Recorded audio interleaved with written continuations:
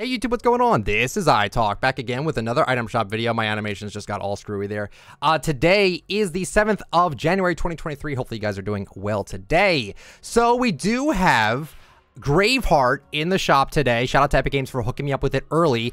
Um, very cool skin, very happy to have it. She does have an edit style, as you saw there. She comes with the Wings of Woe back bling. It's more wings. It's okay.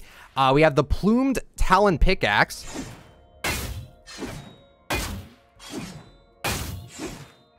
Actually pretty cool. And then we have the Silver Dirge Wrap. Uh, you can buy everything separate if you'd like to. Uh, pretty cool, though. Very happy Epic Games sent me this, so very nice of them. Moving on, though, we have Tender Defender back with the hatchback back bling. We have the Flappy Flyer Glider. Yep. Uh, Scrambler Pickaxe. Hugo is back with the Emissary Bag. I can never pronounce it. And then the Butterfly Knife. Uh, Built-in emote.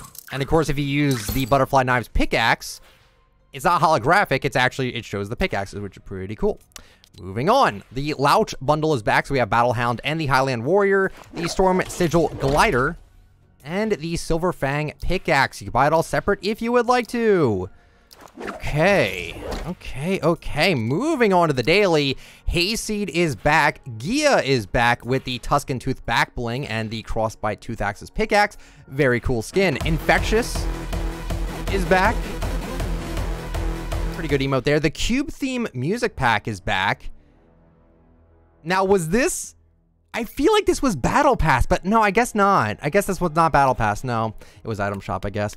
Uh, Rock, Paper, Scissors is also back. And then the Focused Emote is back. The skin is so well detailed. I, I, I can't lie. It's really good. Uh, Chloe Kim's still here, and then the holiday favorites are here. Again, I don't think we're going to see Candy Axe here, which uh, you know, feels bad man on that because, you know, people really wanted it.